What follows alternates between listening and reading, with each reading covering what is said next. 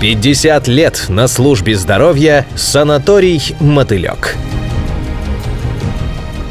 Ни одна здравница Анапы не имеет такой древней и насыщенной истории. 25 веков назад на месте, где расположен санаторий «Мотылек», находился древнегреческий город Гаргипия – История санатория ведет отсчет с начала 19 века с приходом в Анапу русских войск. В бывшей турецкой казарме обосновался женский православный монастырь. На территории нынешнего санатория к 1837 году был построен морской военный госпиталь, который, по историческим сведениям, посещал лично государь-император Николай I. В годы гражданской войны в здании размещался штаб Красной армии, а позднее, в 1932 году, был открыт санаторий «Красная звезда» для оздоровления военнослужащих. Во время Великой Отечественной войны здание было полностью разрушено. Новая история санатория берет начало в 1965 году, когда на старых фундаментах, лишь они уцелели после войны, построили детскую дачу одного из ведущих оборонных предприятий страны, который в дальнейшем был преобразован в научно-исследовательский электромеханический институт. В Большой советской энциклопедии фотография мотылька представляла Анапу. Название санатория сохранено и по сей день, как дань истории, как символ бережного отношения к традициям.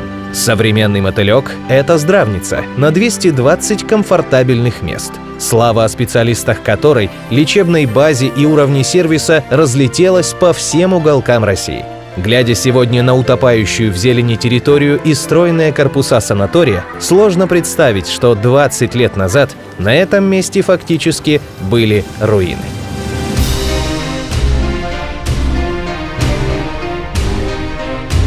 Это произошло в нелегкие для всей России 90-е. Тогда многие предприятия не пережили кризиса. Тяжелые времена настали и для мотылька. В прошлом цветущая, востребованная здравница, расположенная в самом центре Анапы рядом с морем, пришла в упадок. Из-за отсутствия финансирования и снижения потока отдыхающих не было возможности для содержания территории корпусов.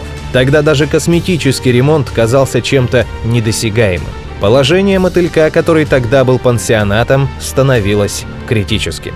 В 1994 году молодой директор Владимир Константинович Симонов решил с коллективом изменить ситуацию в корне. Несмотря на финансовые трудности, не считаясь с погодой и временем, коллектив приступил к восстановлению предприятия. Все делали своими силами. Работали на бетономешалке, плотничали, занимались земляными и малярными работами. Женщины трудились наравне с мужчинами. Благоустроили в год несколько номеров, затем столовую, отремонтировали корпус. Каждый год коллектив, набирая темпы, шел вперед. Постепенно, до 2000 года, пансионат был восстановлен и приобрел свое современное лицо. В 2002 году мотыльку был присвоен статус санатория. Введен в эксплуатацию новый лечебный корпус, который стал украшением центральной площади курортной Анапы.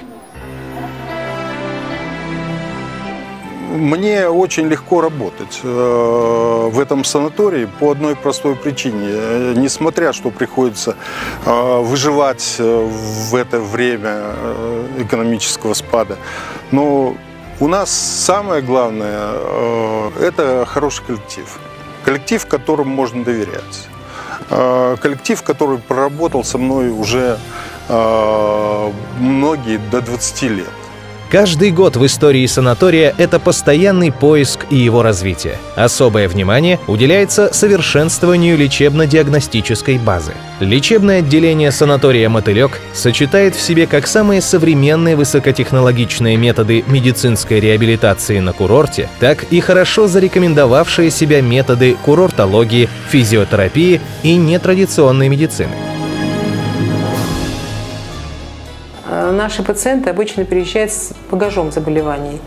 То есть не одно заболевание, а несколько. И мы, естественно, используем традиционное курортное лечение и современные методики. Это получается, что очень хороший, великолепный результат достигаем.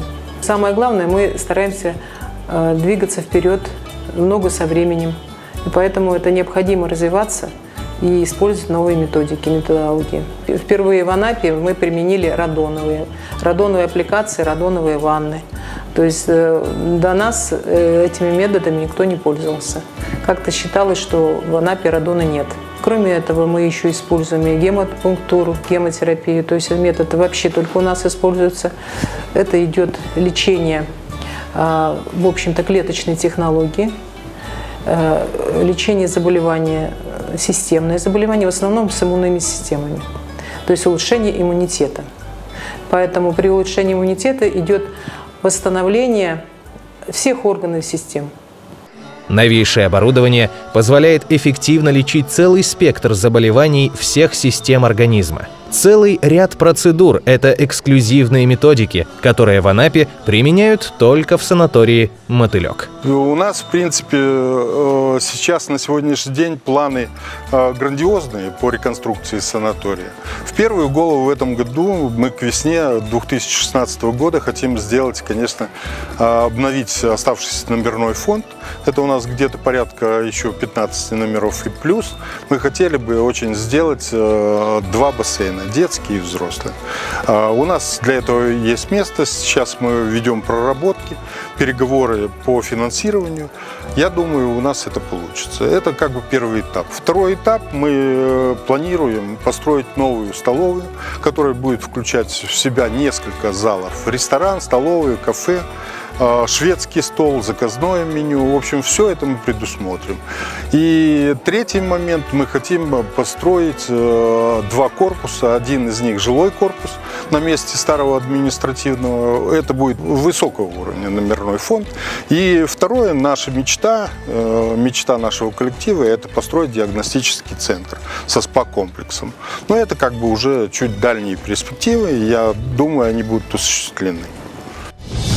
Можно с уверенностью сказать, в этом курортном оздоровительном учреждении прилагают максимум усилий для того, чтобы у каждого, кто хотя бы раз побывал здесь, остались только самые приятные воспоминания и чтобы сюда хотелось возвращаться снова и снова.